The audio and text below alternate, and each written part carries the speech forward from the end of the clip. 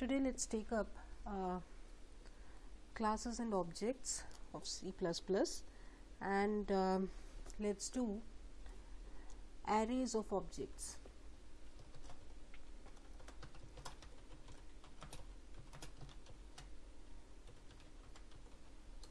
Okay now let's see how to create arrays of objects. Supposing I have a class here employee. Right? And this is the class here. Now in the main function till now we have been making something like this. Employee emp1 that is one object. Employee m2 second object. Supposing I want to store the details of 10 employees. Now in that case if I make objects like this employee emp3 employee emp4 like this I have to make objects 10 times so that I have 10 objects wherein I can store the details of the employees.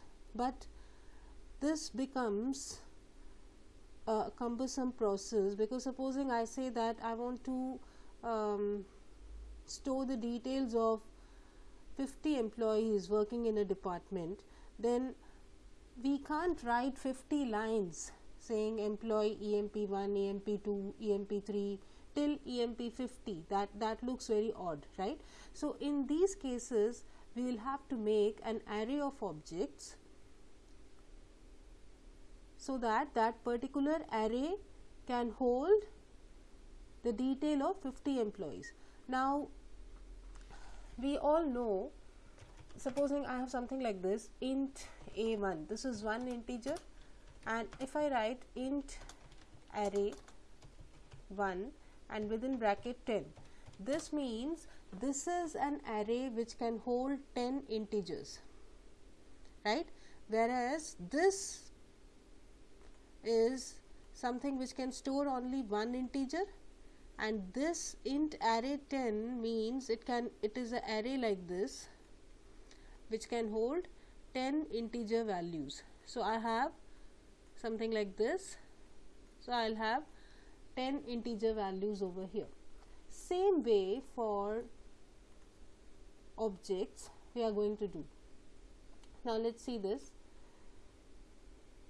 Now when i write employee emp1 this is just one object. So in the memory we have just one object like this emp1 wherein you are going to store the details of the employee. One employee only right? Okay. Now if I want to create an array I'll do something like this employee emp array. You can give any name you want. I call it as emp array and within bracket I write supposing I take it as 5 so this is an array and this array is of type employee. Now employee is the class name right? This employee is what? This employee is the class name. So we are making an array of the class type employee and I'm giving the size of that particular array as 5 so here what happens is this will be your array like this and here it is going to store. This is the first object. This is the second object. This is the third object fourth object and fifth object right? So here the name of the object is emp array. Fine. Now this is emp array 0 the array indexing which starts from 0 as with normal arrays right?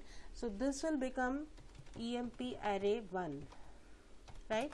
Now this will become emp array 2 this is 3 this is 4 so here I have got space for storing the details of 5 employees. Okay? So this is how we will be creating arrays of an object. Now let's take up one small example to see how actually to do this right okay now see. Let's take the same class employee. Supposing I have this class employee and inside this I write int emp id float salary and I have this char department. Something like this. Then I have public I put uh, I take two methods here one is void enter data. And here I write C out. Enter the EMP ID C in EMP ID and here C out. Enter the department. C in department.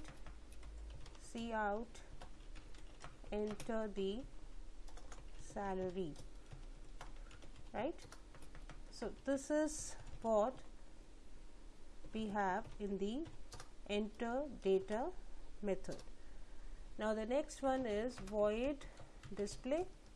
Here I just need to display the record. So I write here C out. I'll just put it like this EMP ID and then I'll give some space and then I'll write the department then some space again and then finally salary and then end it fine? After this I close the class here. So this is a small class which I have made over here. It's employee which has got three variables, three data members, EMP ID, salary department and two member functions, enter data wherein I am accepting the data and display which is displaying the data. Fine. Now we come to the main method where we will be making an object of this class. Fine. Now let us see this void main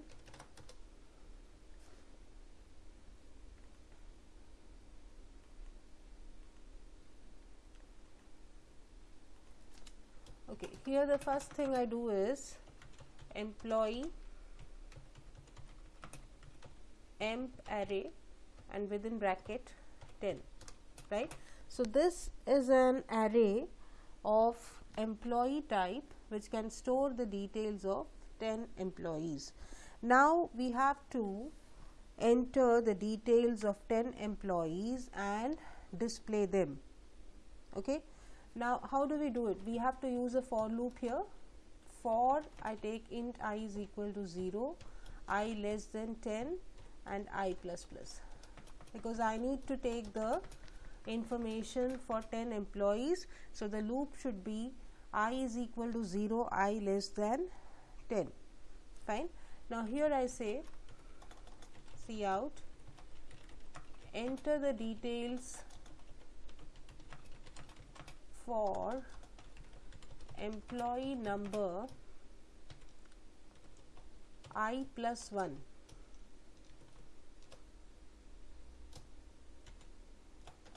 okay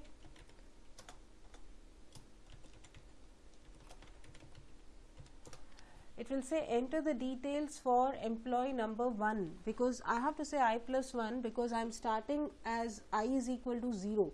So, if you write uh, i just i here it will be enter the details for employee number 0 which doesn't make any sense right. So, here we should write enter the details for employee number i plus 1. So, it will say enter the details for employee number 1, 2, 3 like this it will go on right. Okay. Now, after that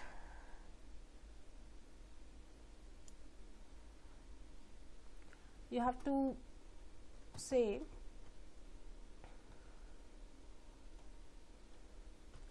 emp array i dot enter data. Okay? So what will happen is this is emp array i means emp array 0 emp array 0 dot enter data. It will take me to this function enter data here and whatever data is being entered that is emp id department salary this will go into the first place here. This one right? This place. This is the first record. The first record here. Okay? Now after that I close the loop i becomes equal to 1 enter the details for employee number i plus 1 means it, it will become 2 so emp array 1 dot enter data again now this subscript has become 1 it goes to this enter data method accepts the data and now it puts it in this place. This is the second record. Like this it goes on till 10 okay? Now after this i want to display the record. So again i take a similar for loop i plus plus and here i say cout displaying in fact this uh, out statement should not come inside this. Uh, we'll put it outside here. Cout displaying records of employees write like this right? Okay if you put it inside the loop it will uh, come every time. So that we don't want. Fine. So here we will write c out. Sorry. Here we should write emp array i dot display. That's it. Now once the record has been accepted after that it comes to this. Again i becomes equal to 0 emp array 0 dot display. So emp array 0 dot display means it displays the emp id department and salary of the first record which we have here. Find this first record. Because this index is emp array 0 okay?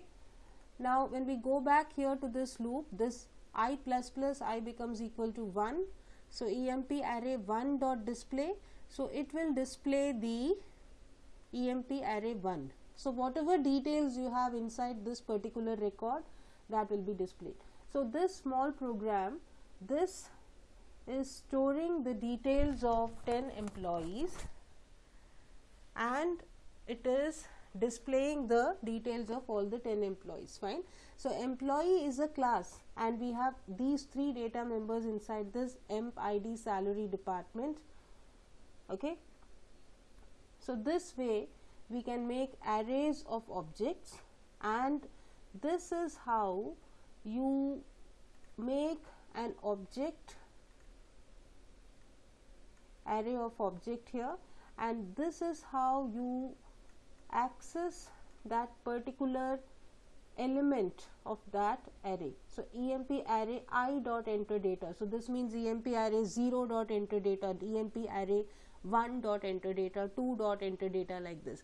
Same way here emp array 0 dot display, 1 dot display. So, this way it works. Okay. So, with that I'll come to the end of this topic on arrays of objects in the lesson classes and objects.